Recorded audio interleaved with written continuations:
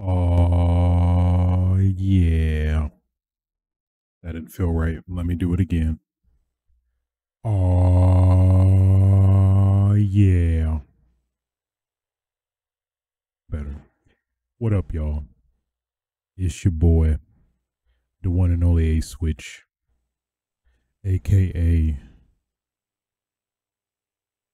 the two for three, not three for three. Um, missing out on that GTX 380 weighted bars, aka the 160 times social distancing champion, aka put some butter on the elbow, get you uh get you a chicken chicken wing. Sorry, I'm sorry in advance for that.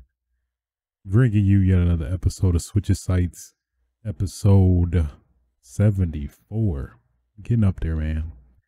Uh, today's date is September 24th, 2020. Um, I feel like there was something notable about this. I don't know. No, that was it. September 24th, 2020.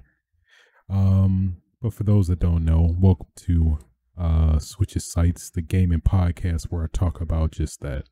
Um, well, another another week uh another form of hell more or less so uh same same uh same different day you know so um what's new? Nothing. Just just us trying to stay alive with all this covidness going around still. Um to get real serious for a second, uh, of course, I feel like I shouldn't be surprised, but uh, Breonna Taylor, you know, one of the unfortunate people, um, suffer from the just I can't even describe it, just the fucked upness of uh police brutality was wrongfully shot, invaded invaded their home. They were sleeping, shot them multiple times for no reason. Was uh, you know, police police officers that were involved got got away scot free. No repercussions at all got away with cold blooded murder. Which, you know, it's pretty sad, man. As a black person in America, it's freaking depressing knowing uh I make the wrong move that somebody else could make, you know, of a different color. I could be just dead, just like them. I could be sleep. could be sleep just minding my own business. Get barged in on and killed. It's just crazy. That just just shows the precedent that's being set that like, you know, even on top of that, just letting other other police officers know, like, hey, man, so I guess we got free reign, right? Just because uh, we can hide un- uh, behind the badge, we can do whatever we want.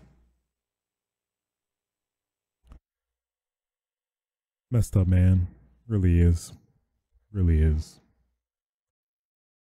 Um, just condolences to Breonna Taylor and her family. You know, getting a measly twelve billion to as hush money rather than not getting the actual justice that she deserved for getting wrongfully killed. So, not to stay in a depressive state, but that's at least something I want to at least touch on, bring some some attention to awareness. For I be, I don't know if you're under a rock and have not heard about that, but either way, trying to do my part in some way. So, justice for Breonna Taylor. Um. So, outside of that, Um, the uh, ongoing battle, get the uh, highly cherished items. As I mean, admittedly, been pretty good. I can't even necessarily lie. PS5 secured, Xbox Series X secured. Tried to go for the 390 today. It did not work out. Mission failed so far. Um, this car was in even lower supply than I think the 380s last week. So, um, yeah, I'm not. I shouldn't really be surprised, but you know, hey, uh, valiantly tried, put an effort into it. But you know what? I'm uh working on some methods, some techniques and not lose again next time whenever they restock either or card. So it's okay. Not the end of the world, you know. Put put some effort into it. Try again next time. Get back up, buddy. You know. I don't I don't know what that means, but you maybe you I don't know.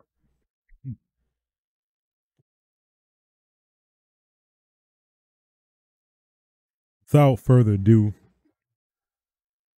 the COVIDness is sneaking up on me.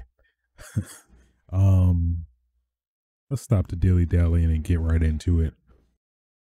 Biggest, biggest news topic of the week. It's actually been pretty eventful week. Uh, Microsoft got money. Microsoft got money. Microsoft just straight up bought Bethesda and ZeniMax. I guess ZeniMax is over Bethesda or Bethesda is under ZeniMax, however way you wanna you wanna interpret it. Uh Microsoft just straight up just threw like 7.5 billion in front of Bethesda slash ZeniMax. Just they just walked up Phil Harrison with uh Satya Nadella right behind him. He's like, hey, this company, I want that. Whatever you need. Uh 7.5 billion? Everybody's laughing. some some uh some uh bodyguard in a suit got like a freaking freaking uh container of it. Here you go. 7.5 billion. Uh, I think that's right, right? Uh dude's like, how'd you how'd you how did you make that? How where did how did you calculate before I even don't worry about it. Uh so uh we want Elder Scrolls, uh Fallout, all that exclusive. Let's let's get to work. like, okay. Uh, I'm definitely joking, but they're still in the talking phases, but it seems like it's pretty much a done deal um, that Microsoft is buying ZeniMax Bethesda. Pretty huge, man. Uh, at least for me personally, it's a lot of uh, IPs they own that definitely speak to me. Fallout, Elder Scrolls, um, The Evil Within.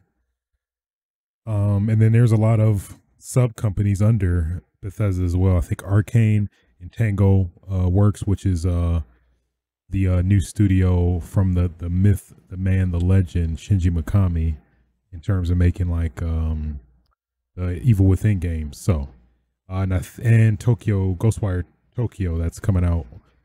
I guess that's the funny thing too is that uh, some of these titles um, that are now owned by Microsoft were actually timed exclusive for uh, PS5. So that's um, Deathloop and Deathloop and um, what's the Deathloop in Tokyo Ghost Ghostwire Tokyo.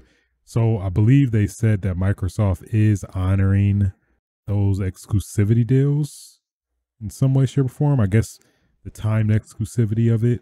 I believe I think that that was the original intent beforehand that those titles will be exclusive to PS5 for a year and then come to Xbox. But um apparently is going to be honored. But when you think about it, I mean, Microsoft still wins uh technically by still getting some some money, some kickback from that this exclusivity uh which is it's kind of crazy to fathom. But I mean, at the same time, Microsoft has has a uh, Minecraft which they which they own and they have uh you know um let be on other platforms including the PS PS4 and stuff so um huge news man still. Just that's crazy. So many iconic IPs Doom Wolfenstein Dishonored.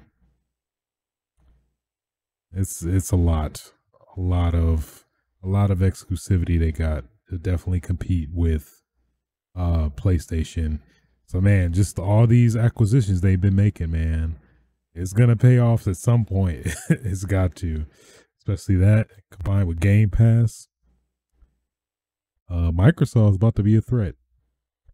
Let's uh let's also not forget to mention how uh how uh convenient that uh they announced this the day before pre-order started last no this week time is just melding together uh yeah this week so i was like oh it's, it's interesting that uh yeah the day before pre-order start you announced this uh you know uh i guess partially maybe they didn't want it to get leaked out or wanted to beat the leakers to it and then i guess obviously with the increased appeal to the next gen uh, consoles. Um, obviously, the Series X. Win win. Um, so yeah. Um, yeah, man. I mean, it's and there's some uh Game Pass games. So obviously, a lot of these titles will eventually come to Game Pass.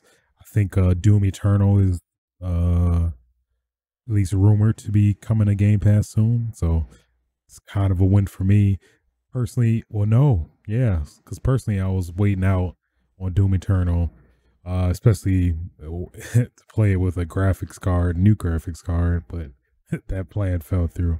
But um, now with Game Pass, especially considering a lot of these games are PC, I could just I would be able to play Doom Eternal for free on Game Pass on PC. Which uh that that was the least mental hurt. I was like, oh no, I don't really feel like playing Doom on console. I would rather play it on PC, but Xbox, you know what? Xbox like, hey, we got you, bro. All right. We got you. Doom Eternal PC. You already know. So I guess that also poses the question though with Bethesda's existing um store, Bethesda store, I think. I think it's just called Bethesda store or something like that. Uh, I think I have it. Let me look it up real quick. Bethesda Bethesda.net launcher. I'm curious how that's gonna work. I I would assume maybe they just let Bethesda branch how they want to branch, and then get the flexibility to you know um probably be on both ends kind of like steam how a lot of microsoft titles they're also putting on steam for people to purchase as well like halo and stuff so i could see that. I could see that. Uh then there's also now like some very interesting dynamics now with this acquisition. Probably the biggest one that's caught caught on a, a, a, a lot is uh Bethesda and Obsidian now being back together technically uh, since um, uh, Microsoft bought Obsidian uh, previously before this acquisition. And uh, for those that may not know, Obsidian uh, used to, well, no, yeah, used to. I think they made used to make the original Fallout's uh, before three, one and two, and they also developed Fallout New Vegas, which is pretty good. I thoroughly enjoyed that. So people are, uh, I think uh, somebody on Twitter uh, reached out to uh, Obsidian saying like, "Well, guys, since uh, since uh, you guys are back together now, um, uh, New Vegas too." then uh Obsidian was like, I don't know. The shrug shrug emoji. Uh, not even emoji. Yeah, I guess you could say emoji. It's the old school um I don't even know what you call it, like strike character type um special character. I guess special character maybe is the closest I can get, but you get the idea. So uh then also the interesting dynamic is that um John John Carmack. Yeah, I think John Carmack, who um was obviously very closely associated with Doom, uh, and now is kind of was I guess kind of distant from from uh the company. I guess he's under id Software, which is under ZeniMax, I think. Uh, where I guess it the impression is that he's been pretty distant, but I guess he still uh, benefits from the company since he's one of the heads, maybe. A little unclear about that, but generally, he's like, I guess he feels like he's more inclined to come back with the company more so than he was now, uh, due to this acquisition. And I guess it's going to be kind of interesting to see how some of the bigger heads of the company, like Pete Hines, uh, Todd Howard, uh, how they're gonna still be within the company, but it seems like Microsoft, at least according to um, Phil, Uncle Phil, aka Uncle Phil, um, he will, or he claims that the company's still going to be the company with their own, you know, their flexibility that they always had, but just, you know, obviously under the Microsoft umbrella now. So I definitely approve. It's really, really interesting um, to uh, at least bring the level the playing field more or less. Um, kind of increase some of that competitive spirit that uh, at least honestly Microsoft has been severely lacking in. So love to see it. Love to see it. Um, and then uh, I think another factor is that uh, in terms of exclusivity, Microsoft was uh, very vague in terms of their them saying that. What did they say? They said uh, exclusivity is on a case by case basis. So I mean, take that for what you will, but for me, seems like that's just basically gonna essentially be uh, you know, maybe the really, really super huge games will siphon to uh to the other other uh, consoles like PS5. Uh, but maybe it's gonna be some maybe shorter exclusivity, or I feel like just some interesting caveat to it. We'll see. We'll see. Maybe they'll actually honor it. Maybe they're just fine still getting getting the revenue essentially for having their games on a PS5. So who knows? Um, I don't know, man. Just you have like one of the most successful titles of all time, the Elder Scrolls series, and to not have it as exclusive to your console to encourage people to jump to your um, console um, is interesting. Consider we don't know that yet, but I mean, it, it, I just find it hard to believe you paid 7.5 billion to buy a company just to um give those games to your competitor. I don't think that's gonna happen. Maybe the lesser games they'll give to PS5, and then the few bigger games, there's gonna be some exclusivity of some sort. Probably likely just timed maybe permanent console exclusivity. Um, so we'll see. We'll see. We shall see. Overall, man, super huge, huge ass news. Really is. So, um, I guess touching back on Xbox because man, Xbox really did have a week this week. Uh, of course, the pre-order fiasco that is the Xbox Series X, pretty much just like the PS5, Xbox Series X was, I mean, depending on how you look at it, just as horrible, if not more horrible, because I feel like there's the dynamic that uh, bots and scalpers were able to prepare in advance, um, uh, considering we had a definitive date and time. But at least kind of with the PS5, you kind of somewhat had the element of surprise if you were, you know, paying attention to your Twitter and other sites. But, um, which I felt gave an advantage to people that wanted to get the console that were real people and not scalpers just artificially inflating the price just to make a profit. Um so, you know. Yeah, so at least I'll tell you like my experience uh, at least hunting for the Series X. So what did I do? I uh you know, had all my sites lined up, had all my order information ready to go. And uh I think my first my first site I think was Amazon. Well, I was really just refreshing all of the uh, all of the pages just to see which one would uh open up first. So actually I think I went for uh Target and Walmart first because at least I had success before with PS5 and uh um Amazon normally waits a while after and some of the other sites as well, like Best Buy, are also delay seem seemingly delay their um their uh, pre-orders. Uh, so I tried those two first.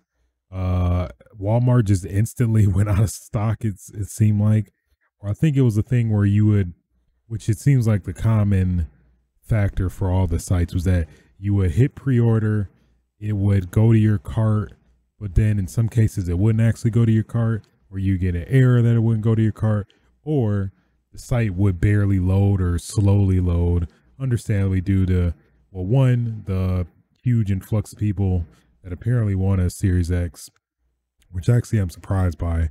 Thought a lot of uh, PC players and, you know, that already get the exclusives on PC wouldn't want to, but uh, apparently maybe it was just a lot of butthurt people from not getting a PS5 want to get the Series X or whatever. But for the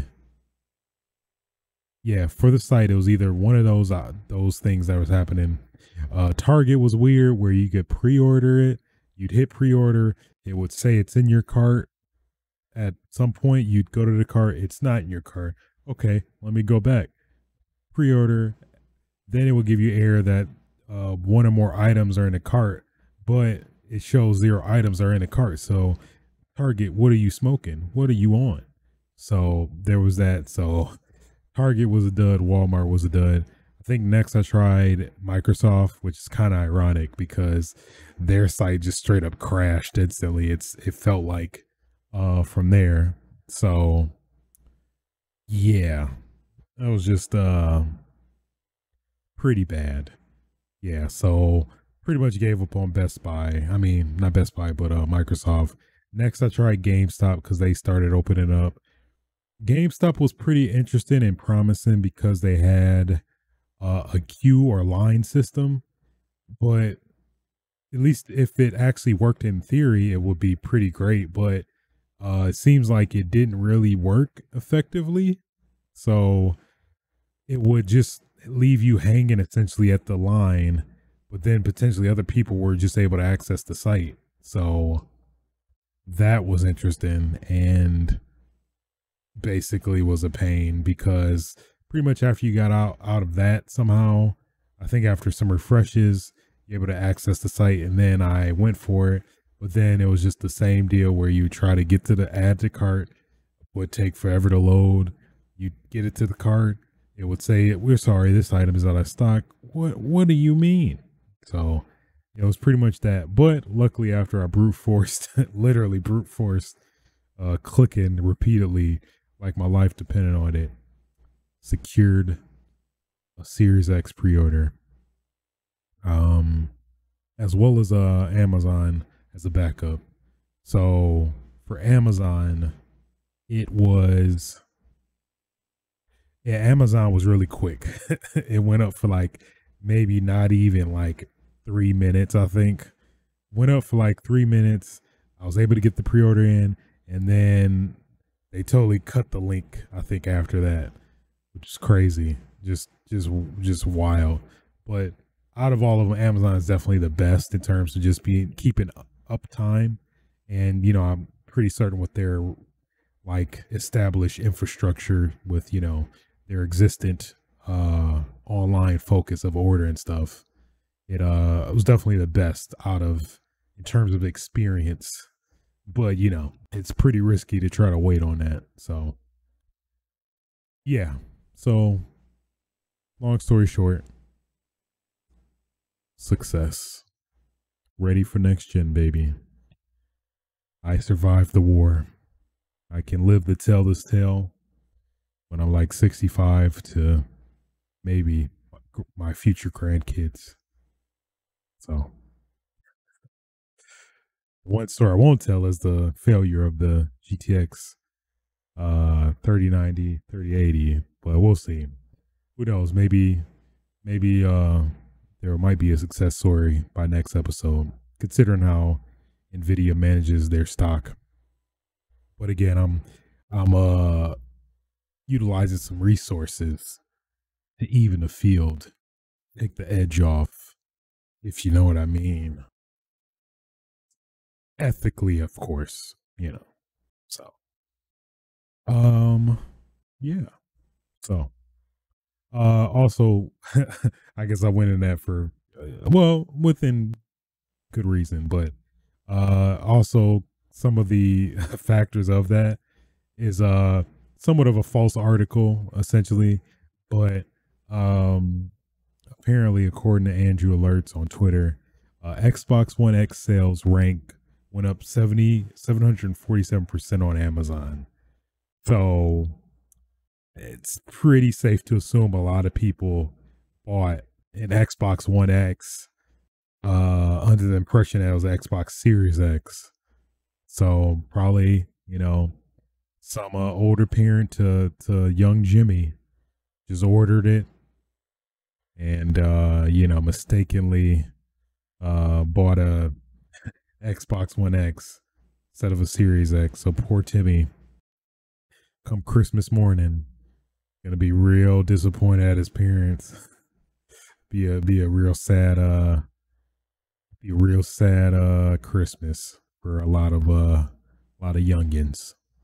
So again, goes out pour one out to to the poor kids that uh have an Xbox One X instead of an Xbox Series X. That's such a bad idea in terms of the naming convention. I guess it kind of helps they discontinue the Xbox One X, I guess presumably for this reason. But still, it's just keeping that in the universe is still confusing, you know, but we'll see. Um, but yeah, pretty interesting. But yeah, the the 740% is pretty false due to like the sales going up from nothing, which basically skewed that that that percentile where it's um generally just kind of unrealistic. But I mean, good on Xbox either way, I guess. It's getting rid of that back stock that may possibly be returned. But I digress. Um, then on top of that, on top of paying 7.5 billion to buy Bethesda, Satya Nadella was like, "Hey, we gonna buy more if you if you keep if you keep talking. We gonna buy more if you keep talking. That sh- all right think we plan? Microsoft, bitch. Xbox. they got the X up. Xbox. After they make a deal, Xbox. Xbox. You already know. so just yeah, quick quote from him. Uh in terms of the acquisition of ZeniMax Bethesda. All all about the future of software. And because video games is seen by Nadella as a, as the future of software, he stated that Microsoft will consider buying even more video game companies. this, is crazy. It's like, hey, I mean, I got money, so I mean, what you trying to do? This is exact pretty much what I interpreted from that. So that was by cnet.com. Just interesting, interest, interesting all around. Good to see uh Xbox back in back in good good graces, if anything, I guess. Where you know, obviously Xbox has always been is it safe to say Sega of this generation? Kind of always behind Nintendo. I feel like essentially Nintendo generally won the, you know generation generations from way back, but I don't know. I feel like maybe it felt like it was 50-50, but I think that's just my me my interpretation from when I was in that in that uh that time where uh it feels real old, man. In that time where I did have those consoles, so who knows? Moving on. Um, apparently, rumor has it that uh Nintendo is looking for a senior engineer with HDR support. Uh, this was leaked by LinkedIn, which is that's kind of messed up. I feel like it's I feel like there's some ethical issue with that where it's like, you know, obviously you need to reach out to people to uh, you know, get jobs, but at some point it's a cost where your information is going to be leaked. I think maybe the company could be better about concealing the duties, but at, at the same time, you need to know what you're getting into as well. So it's a it's a two way street, but either way, uh, looking for an uh engineer that have experience with different display technology, LCD, OLED, HDR, and yada yada yada, all the other stuff that a senior engineer for display technologies would do. Uh, so pretty much this also further solidifies the rumors of a Switch Pro or what a lot of people are saying this potentially could be a Switch 2 like even further down the road where this next rumored Switch could be dropping sometime early next year as like a mid uh tier upgrade or whatever and then the actual full full blown switch successor would be like maybe 2023 or something like that which would make sense which it'd be pretty pretty cool. Um then i think in, in addition to that the infamous uh credible leaker that is uh why is his name drawing a blank to me? Why is his name blanking? Something horror. Horror. Let me look it up. Let me look it up. It's something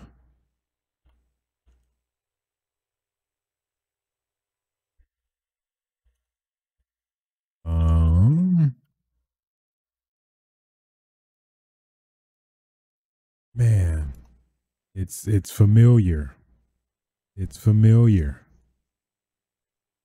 let me look it up real quick. I want to give a gotta give gotta give some credit.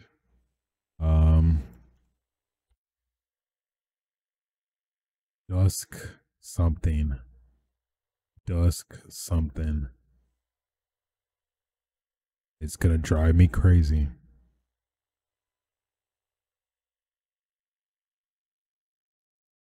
Which, oh.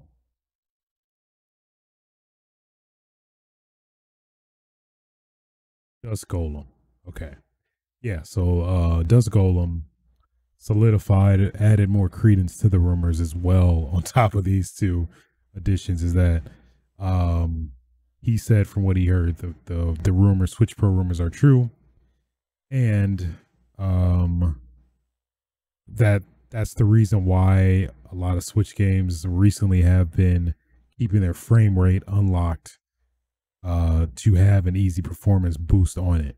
So yeah i don't know. With uh the new monster hunter rise announcement which is w- weirdly close to the anniversary of the original Switch being released.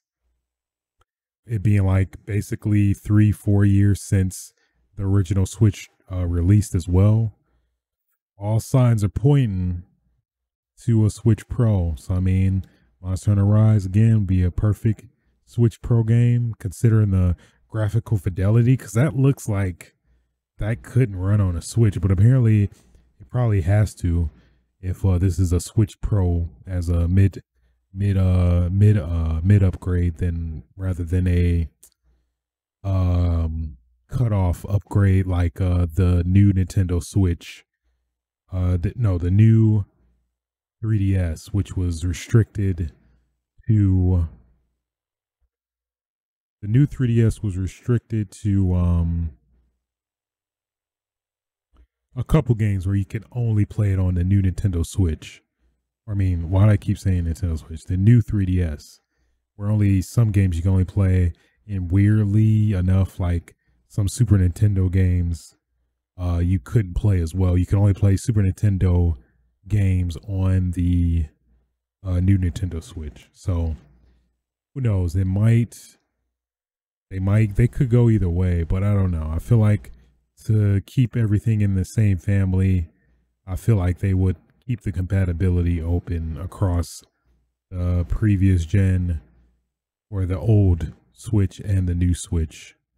Um, then also, obviously, Legend of Zelda 2, we don't know a release date, would be a perfect game to release with your new Switch console, toting all the new bells and whistles with that, that would come with the Switch Pro and just like a 1080p resolution, 4K and um docked with uh Bluetooth functionality, which has been like the biggest downside of the Switch.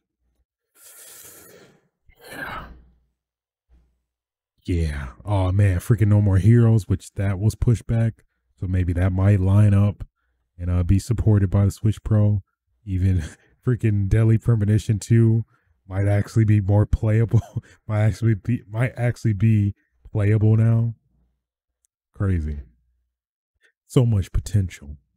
And your your previous collection all be upgraded and have new new additions. Ugh. I, I definitely want it. I don't know about you, but I definitely would get it. Either way, moving on. Uh man, these these Jesus, the, the good times keep rolling, man. So out of nowhere today, actually, uh, Amazon announced Luna, basically their new gaming streaming services, uh, hosted by uh, Amazon Web Services Cloud. So uh, it's still somewhat kind of vague in terms of their information, but they did say there's um six dollars six dollar a month for early access, a fifty dollar controller, and a couple of a lot of older titles. It really does. I don't think there's one exclusive new title or anything like that so far. But uh, they're planning to add 4K 60. Currently, it's 1080 60. Will be integrated with Twitch on day one. That's pretty substantial, I think. Um, It'll be on Fire TV, PC, Mac, and iOS with an Android version coming a few weeks after launch. I think for iOS, you know, to that weird, I guess, I don't even know what you call it, weird uh, restrictions with Apple, I think you can only do it through the browser on iOS, which is weird, but who knows if that's, I feel like that would provide a performance hit of some sort, but we'll see. I don't know. But there's that. Some of the games uh, that will be included Resident Evil 7, Control, Tacoma, Rez, Inf- Rez Infinite, Metro Exodus, The Sexy Brutale, Overcooked 2, and others. So, not all titles listed, blah, blah, blah. I know Ubisoft, they said they're supporting their titles as well. Um, so man, I mean, literally all Luna has to do, Amazon Luna, whatever, all they need to do is just provide a subscription service similar to uh, Xbox Game Pass, where pretty much for one flat rate a month can play any of these games um, and you know, kind of the Netflix style. Some new some new stuff leaves, some new stuff comes in, things like that.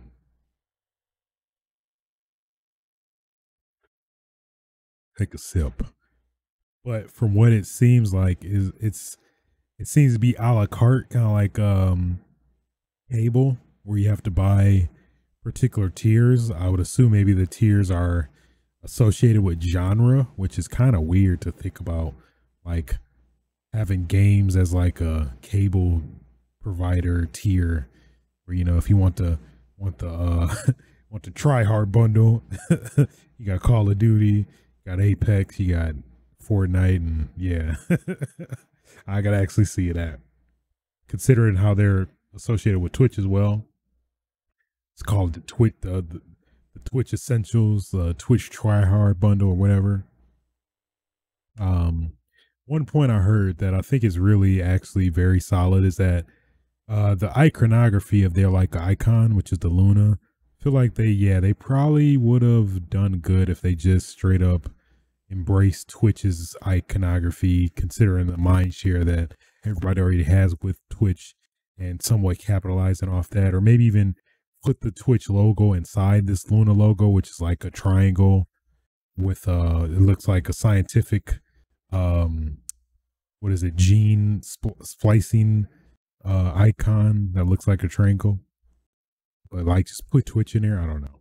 Maybe they just didn't want to fully confuse it associated with twitch maybe just make it their own.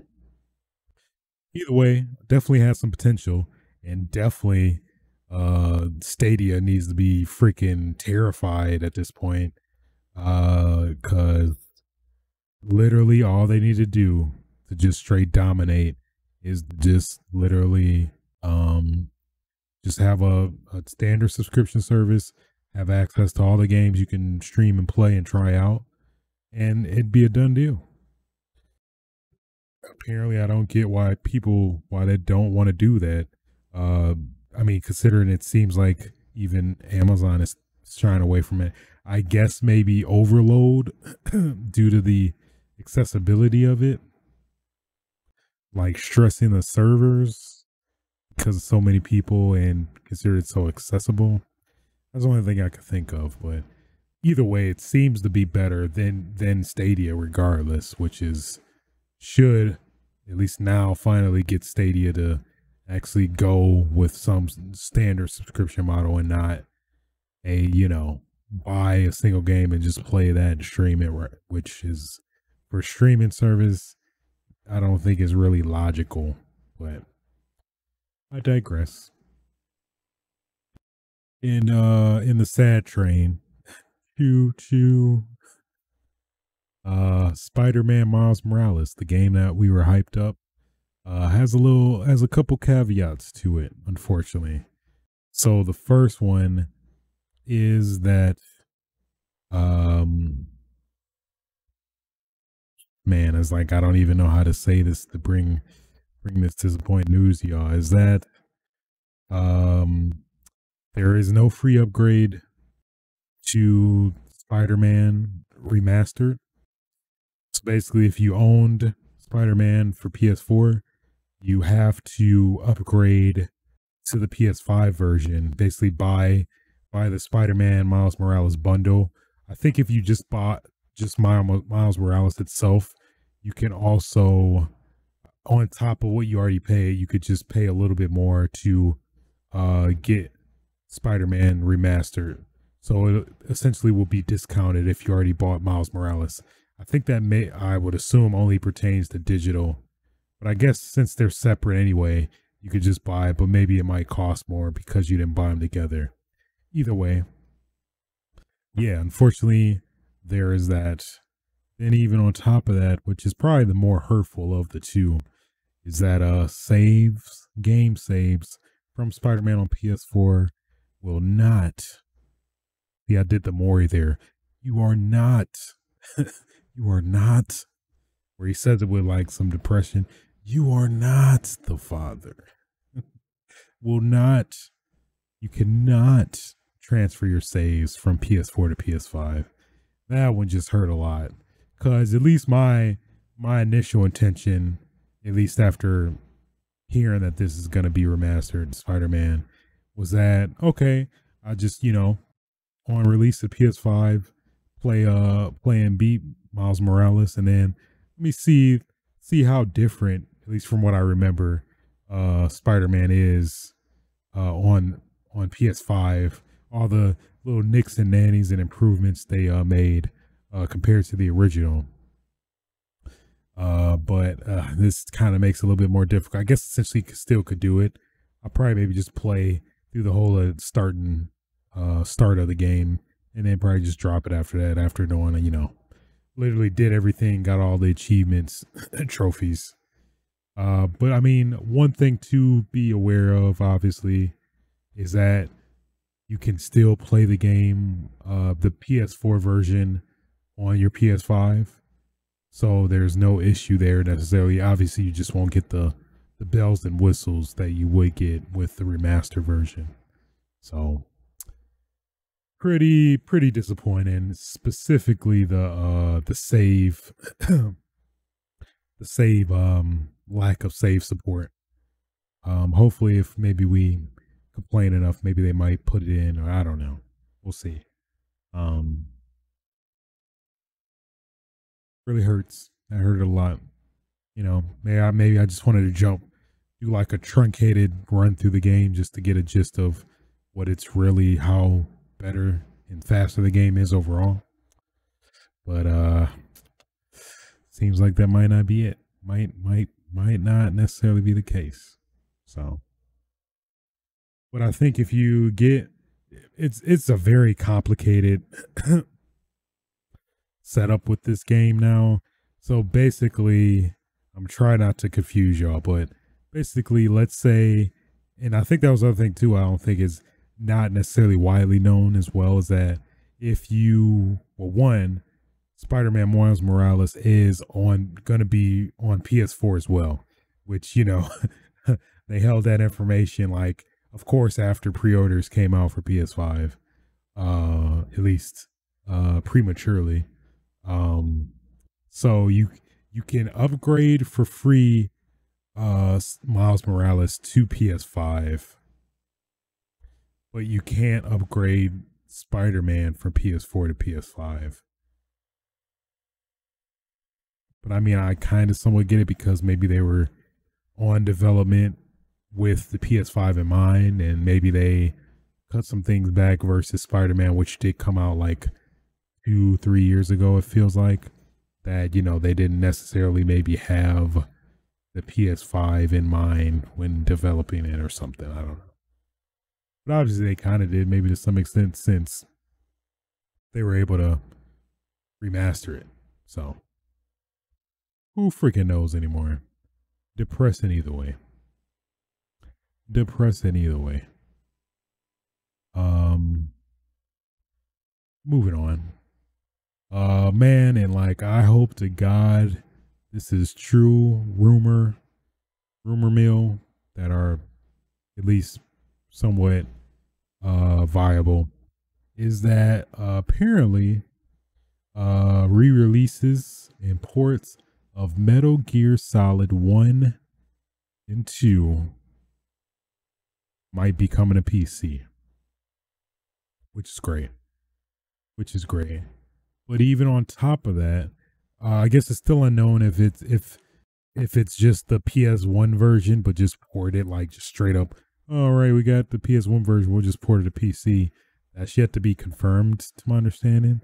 And obviously, it's still a rumor, but um, I don't know, man.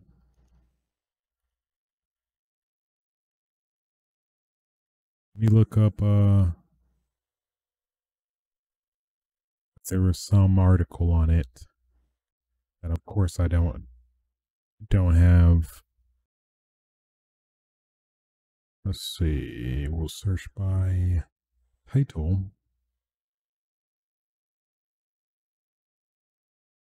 Yeah so essentially um on top of that rumor there's another rumor that surfaced like maybe a couple days after is that apparently metal gear one, two, three, and four would be uh ported and remastered to PC as well as PS5.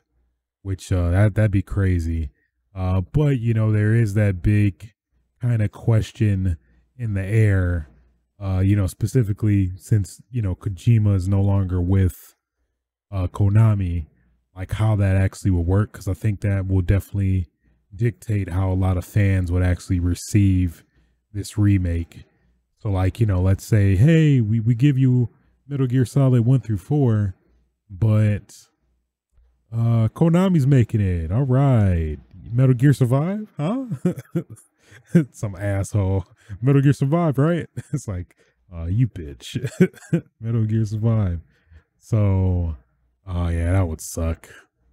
Yeah, so I've seen some theories about, you know, maybe Sony might be trying to get the rights or get some type of deal where, you know, maybe Konami partially gets some money for it, but, you know, they, uh, PlayStation like does all the bells and whistles and maybe, maybe gets Kojima involved in that extent and also get Bluepoint involved, which are, they've just been like, this track record has been co- uh, consistent with uh, the awesome remakes, remasters they've been doing so far. I think they did Shadow of the Colossus, uh, the Metal Gear uh, Solid Collection. I think from that was one, two, and three on PS3 and 360, and now, uh, well, uh, if if the rumors um come true that they would then work on this remastered.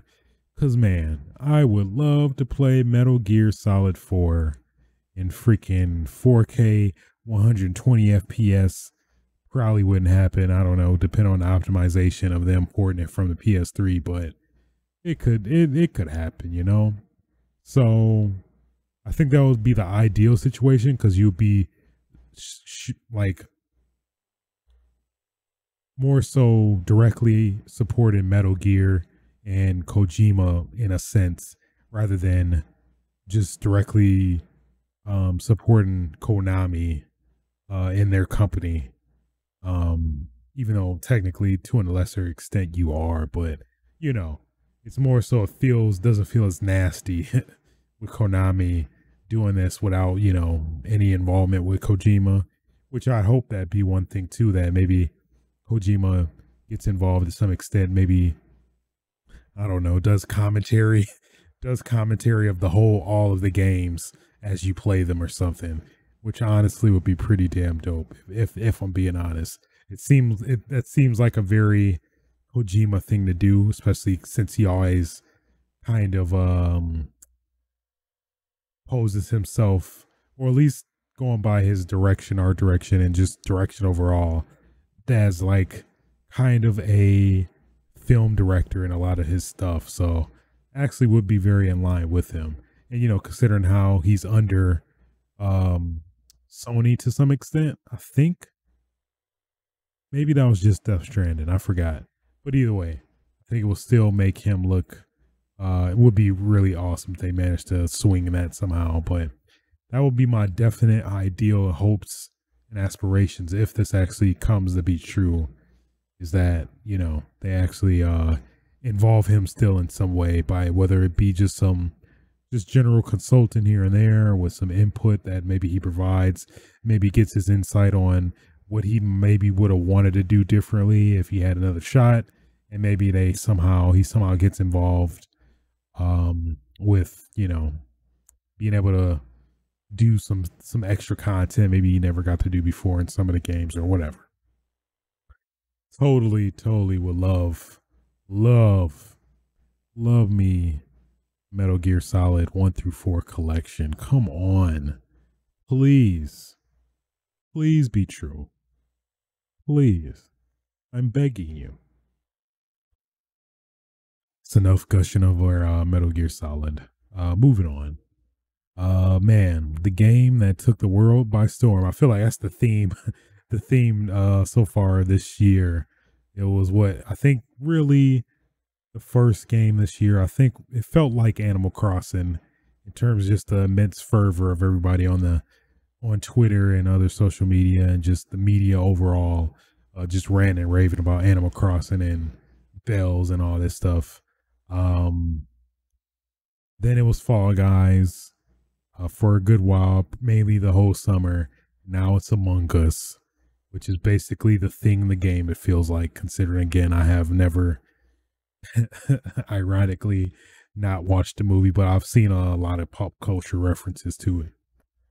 So, that being said, uh, considering the immense success of of Among Us, uh, the developers of Among Us, um, Innersloth, uh, they said they're actually, which is kind of crazy.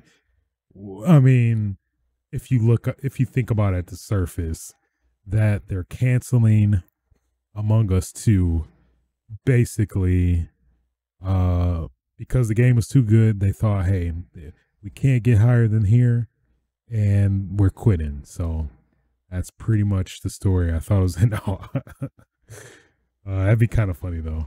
Kind of like um flappy bird when it became too big the developer of the game just just couldn't take the pressure or all the i guess fame that came with it but no at least in this case they're actually doing change, turning Among Us into a seasonal model. It seems so.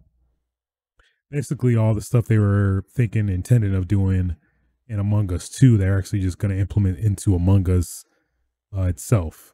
And I, I, from what I get, is that it's going to be a seasonal model. So, yeah.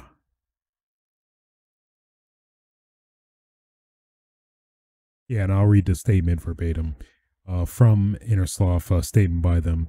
Uh, us devs have had several long discussions about what we want to do with the game. When we do stop working on Among Us One, yeah, when when do we stop working on Among Us One? what content goes into Among Us Two? The main reason we were shooting for a sequel is because the code base of Among Us One is so outdated and not built to support adding so much new content. However, seeing how many people are enjoying Among Us 1 really makes us want to be able to support the game and take it to the next level. We have decided to cancel Among Us 2 and instead put all of our focus into improving Among Us 1. All of the content we had planned for Among Us 2 will instead go into Among Us 1. This is probably the more difficult choice because it means going deep into the core code of the game and reworking several parts of it. We have lots of things planned and we're excited to bring new content to everyone as you continue to enjoy playing. So, um, totally understandable. I mean, I feel like it's hard to it's hard to try and initiate a whole new player base after you have one already established already and it's so, you know, fruitful, more or less. I'm pretty sure the game is like huge by now.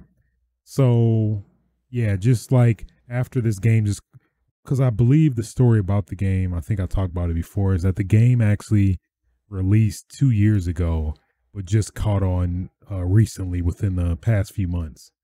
So, it, it would be pretty weird that you know this game caught on the last few months, and then like you know, I'm not sure the timing of the sequel, but essentially like, hey, all right, so Among Us Two, which I guess depending on how you perceive it, look at it, it may have, it may have possibly been all right because everybody, oh man, yeah, I loved Among Us One. Among Us Two is coming out already. Yeah, let me get on that. So it could have maybe went that way, but I think at some point you would have possibly alienated some people that may have been so used to Among Us One as well. So it's it's kind of like a two way street. It feels like um, that. I don't know. Then the challenge they're talking about with the coding of it being so ancient, but uh, I think it's definitely the smartest move they they could make, considering just trying to ride the train of Among Us and just sticking with that rather than trying to have everybody who just more or less game having gradual success more and more, uh, then everybody just jump to Among Us 2. And then some people may not want to jump to Among Us 2 or may, you know, it pretty much really that essentially. So I think it's definitely a smart move overall. Um, makes total sense. Like, you know, with all the big games now doing that, like Fall Guys and like, you know, Fortnite and stuff like that. So good on Innersloth. That's a pretty good call, I'd say. Uh, just to keep your player base and not potentially segmented, even though the game is only five dollars. It's pretty damn cheap on Steam. Um, I think I'm not sure how it works for the Apple or iOS versions. Um, I think it's on Android and iOS, but I didn't get it for those uh yet. I, I, said that like, yeah, I am gonna get out of. So, um, yeah, play that game if you haven't. If you have a good network of friends, it's fun as hell, man. Fun as hell. Uh, it's still even pretty good. I I've yet to play it solo, like with random people, but man, I'm planning to try that at some point as well. So, yeah. Uh, think that does it for all of the news for this week.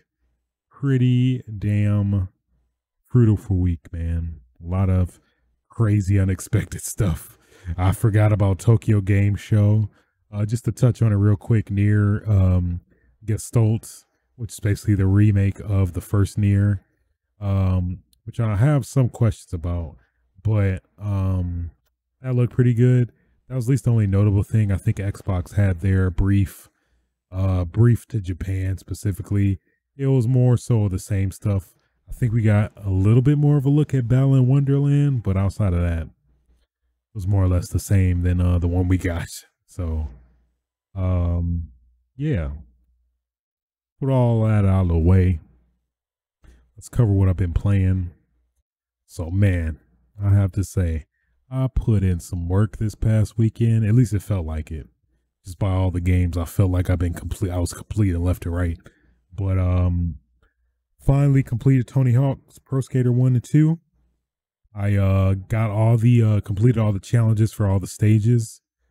Um I messed with I did pretty much get uh did a, like a single run like a free or no, I think it's called single run where it's basically Tony Hawk 1, Tony Hawk 2 in terms of the levels and then there's a uh free skate and run trial run or whatever where basically you can either free skate do a trial run, which is basically the same as going through the games with the time limit, but you don't have to do the objectives.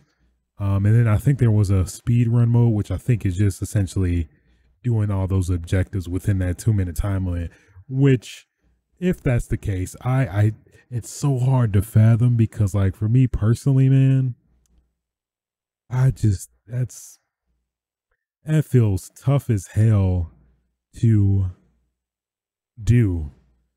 Uh, but apparently, I think you can do it. I think uh, from some of the uh, games done quick streams, I think I saw some Tony Hawks and them actually legitimately going stage to stage, doing all of the objectives. So I could be just totally wrong, and I just don't have that mental capacity to fathom that that is just possible. So all in all, thoroughly enjoyed the game. Played some uh, multiplayer a little bit after that A little slightly janky, but I could see within time some updates might make that more playable.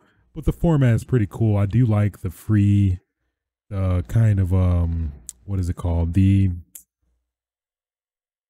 um, the kind of random playlist of it where basically you just keep going game to game to game, like trick trick attack, score challenge, graffiti attack, and you know pretty much after you complete the game, you get like a couple minutes to like skate around and then you jump into the next game. And then like after that, kind of reminds me of like Gears of War, where from the classic games where you had uh uh like if you just joined a lobby, you just do a playlist, you just rotate the maps, you go from map to map.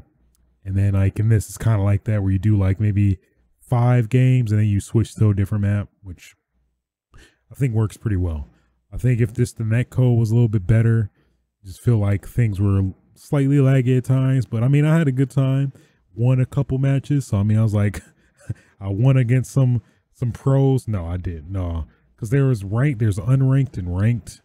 I uh, messed around with ranked, didn't do too well, but for unranked, I uh, I uh, I got a couple wins, got a couple wins under my belt, you know. So, um, yeah, so highly recommend it if you're a fan of even uh, Thug, which is the one I I uh the one really the only Tony Hawk I really played.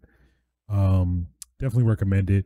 Uh, interesting format, and you still have the free skate option if you're just like, which is one thing I did like about Tony Hawk. I mean, uh, Tony Hawk's Underground is that you could just uh, free skate, not you know being restricted by a timeline or anything like that, and just skate around and just do tricks and just experiment and stuff, which you can do in this one as well. So definitely recommend it. Uh, pretty awesome game. Tony Hawk is back, baby. He's back. I play a little bit Among Us. Um, man, a game is fun, man. Just the more you're playing, and then I think it is also very beneficial to play with different groups, since uh you can kind of somewhat hone your craft against people in terms of, I guess, essentially lying and being the perfect killer, and you know, killing people next to another person and just framing them and saying they were by the dead body and stuff like that. It's a lot of interesting dynamics. This game definitely incites for sure. So, been thoroughly enjoying that. Uh, man, Black Ops Cold War Alpha. Uh, so played that this past weekend. So after that PS4 uh announcement, uh, they announced during that that uh the PS4 Alpha for Cold War, uh, you could play that weekend, which I did. Honestly, was not that impressed. Um, I understand it's a beta, so a lot of this stuff will be ironed out. But I don't know. I guess I'm just so used to and love Call of Duty Modern Warfare, I think, is that I feel like any game that's not that is inferior. So I don't know. Maybe I'm having that complex right now. And then like Call of Duty's about to have its last season coming up. Just depressing, man. Just depressing. Gonna be very bittersweet because I literally, I'd have to say, even now so far, definitely my favorite Call of Duty of all time. So we'll see, but I don't know. It's just the feel, the vibe. I'm not sure. Just, just like feel the feel of taking a step back because I just really love the modern setting rather than any other one. Like I'm not a big fan of World War II not a big fan of. Um, well, I'll take that back. I, I did enjoy the Black Ops series as a whole. I did like it when they did get more futuristic as also. So we'll see. I'll uh, definitely try out the beta, but I, I, know I'm a sucker anyway for Call of Duty. I mean, regardless how, I'm, how I feel, I'm probably at least, at the least, gonna play it. Probably at least prestige once, or depending on how they are gonna do their um, prestige uh, ranking up system next year or this year, technically. Um, rumors are that, that it might not be like uh, Modern Warfare, where it's like a seasonal cadence, but it, they said they're somehow to bring potentially bring uh, Prestige back. So who knows? I think that will change a lot because honestly, I did like I did enjoy the prestige, not prestige, but the seasonal um angle of Call of Duty uh this this this year, where it, it kept me engaged. and uh, you know, had a decent amount of new stuff that kept me going. The challenges were pretty decent. Um, some were just a pain in the ass, but overall they were pretty decent. So I don't know. Not sure how I feel about this one. We'll see. Uh, then also switch gears to the Switch. Gave my Switch some love. It was a big sell on a lot of the games, so I just uh splurged slightly. I mean, that's not even saying much. But uh played got around to playing Fight'N Rage, which is basically a beat 'em up. I think it came out a while ago but I think it recently, semi recently came out on Switch, and I had never played it. I think I saw uh, my friends play it at one time. Like, you know what, let me try this game out. And actually, uh, yeah, just played through the whole uh, arcade. um, myself, and I thoroughly enjoyed it. And uh, you know, played it. It felt kind of slightly basic. Then after the fact, after I beat it, it uh it has a lot of great qualities to it. It has like a store where you can, you know, buy stuff with the currency um uh, after you beat the game. Um and uh, you know, unlock they had a train mode, which I think is that should be a standard now for beat 'em ups. Uh which tells that you have a pretty in-depth combo system. So they had a training mode, and I realized that the freaking the the freaking combat was way more in depth than I gave it credit for because there's a lot of stuff you could do that I didn't even think you could do. I just assumed the, the game, the fighting mechanics were basic, but they were deep as hell. So, you know, that might warrant another playthrough, uh, probably maybe this weekend. We'll see. Um, but yeah, thoroughly enjoyed it. Um, it felt like it, you felt a lot of love to Streets of Rage pretty much a lot of beat 'em up references I felt I saw in there. Saw a bit of Final Fight, bit of uh, Streets of Rage. Um, yeah, it was a lot of inspirations for sure. So then, yeah, then on top of that, I think there's like 20 endings or something like that, which is crazy. Awesome. Then got around to playing Avengers. Finally did. So after I beat Tony Hawk, I was like, let me get on this Avengers. Ran into a weird issue. I think it was just the way I installed the game from the disk, where I think after I moved it from the hard drive to my main hard drive, which I felt like the game would perform faster that way since my hard drive is faster, internal hard drive is faster. It's a hybrid SSD uh HDD hard drive. Um and uh, after that, it was weird, but either way, I fi- figured it out. Played some Avengers, and man, I have to say, pretty impressed by the game, especially considering uh, playing the beta. I was not impressed at all. I was actually turned off. Actually, got me to cancel my pre-order for the game. And then after you know hearing reviews and stuff about it, I was like, you know what? All right, let me let me reinstate it. It seems like they did a lot of great improvements since the uh, since the beta and it it definitely does show. It uh just the game feels more visceral, more uh engaging. The sound effects specifically, which they were severely lacking, which I mean, I feel definitely is very important for a beat 'em up or you know, I guess generally a beat 'em up or essentially. Um, so yeah, man, uh, all the characters were pretty cool. Uh, I I could literally I think play with pretty much all the characters. Uh, weirdly enough, I think he's not the most popular character, but Iron Man I liked a lot. Maybe I'm just so fond of the movies. I'm just maybe projected in that sense. I don't know, but it, it, he was just he was fun to play. You could fly. He has his uh freaking posters sound the exact same as the movies, like love it. You get all these types of weapons. His combos seem pretty cool. Loved it. So, yeah, and I'd, I'd be spoiling if I talked about anything else, but overall, thoroughly enjoyed the game. Haven't really touched the multiplayer. I don't necessarily plan on it because I'm waiting for the freaking, um, I'm waiting for something.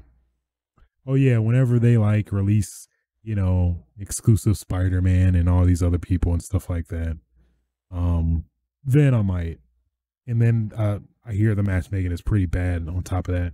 So I tried it a few times as I was playing the single player, which some missions you can include other people or matchmake with other people, but it seemed to be so broken where it take, took forever, which I assume maybe is partly due to maybe the character preference. Like maybe there's a huge skew of people that only pick one particular character over the whole cast or something like that. Or maybe they just weren't playing this mission, I guess. There's just a lot of variables that kind of go against traditional matchmaking if you're playing a single player campaign, it felt at least. But overall, just the cinematic experience, the characters, the the banter, uh, it felt like a straight up Marvel movie in video game form, which personally as a fan of the Marvel movies, that's all I could ask for. So very satisfied with it. Uh, definitely looking forward to the potential, I guess, model of this. No, it's confirmed to be next gen, and we're getting some of these DLC like Nighthawk. I forgot the girl version of Nighthawk. I'll just call her that for for now. Girl High Night Nighthawk and Spider Man.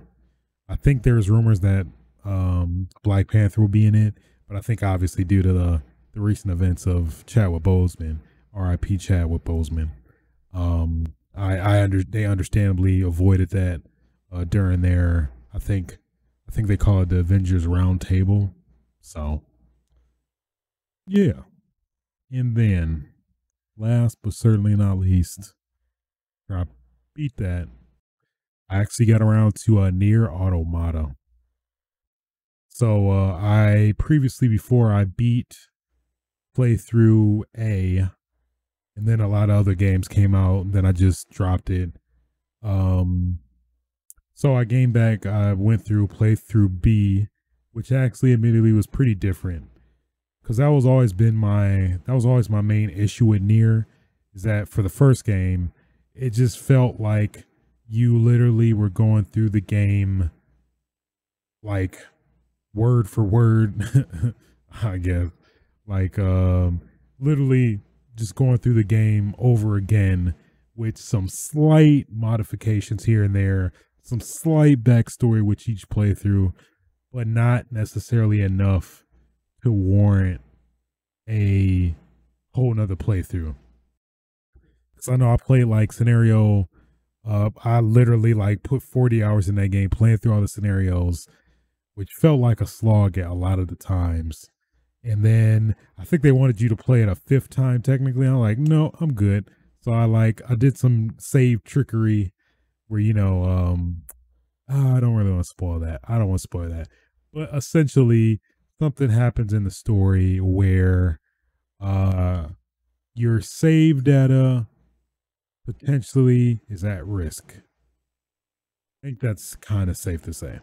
So with that, I was like, ugh, just yeah, just with all these and considering depending on the ending, I guess.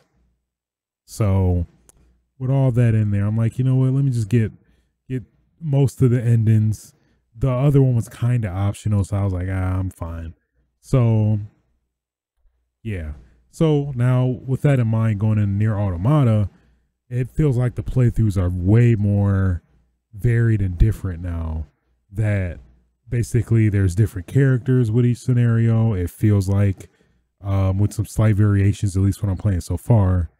Um, and it just feels more worthwhile to do each playthrough now rather than the first NieR where it was like, more of a slog, a pain, not much incentive necessarily to go through the multiple endings um without having to suffer through some of it if that makes sense. So that does make me curious uh as to how NieR replicant is going to be because i'm i'm more than likely going to pick it up just out of curiosity see what improvements they made and if they're actually going to stick with young. I forgot the code names but I feel like I talked about this way back when I was playing through it, but the the US version has an older version of Gestalt. I think that's his name. We'll just say Gestalt. I think you could technically name him anything. So yeah, I guess he's kind of nameless. I forgot, but uh, essentially you have the older version of the main character and then the Japanese version had the younger version of the character. And at least from what they showed at Tokyo Game Show earlier today, that it was the younger version, but we I'm not sure if for the US we still get the older version. That maybe they might just stick with one uniform character and we'll just get the younger version or something like that. I don't know. That'd be kind of a weird retcon because I, I feel I have the sense that maybe that character might be involved in this NieR to some extent. Just a hunch, but um yeah. So overall thoroughly enjoying it. Definitely encouraged to play it now. Probably gonna see it through. I think there's five endings technically, which I guess not including some of the non canonical like one off you died endings, I think, but I'm digging it. I'm thoroughly digging it. I I was that's actually why I like more or less just pushed it off because I thought it was just going to be like NieR again, where you have to play the game literally the exact same way, um, with very minor var- uh, variation. But so far, it feels like this is definitely far from that. So we'll see. Slam Dunk, still watching that. I think I'm on episode 14. I think they're still battling each other with this one game, this scrimmage, I believe. So there is that. And uh that's pretty much it for episode 74 Switch's Sights podcast. Uh if you enjoyed the podcast, feel free to like, rate, subscribe, all that good stuff on your various podcasting platforms. Um, oh yeah, this was after last episode, but we are now on Amazon Music as well. So I mean, just another ring in domination of podcasts. I guess I don't know. I don't. I'm not sure how this works.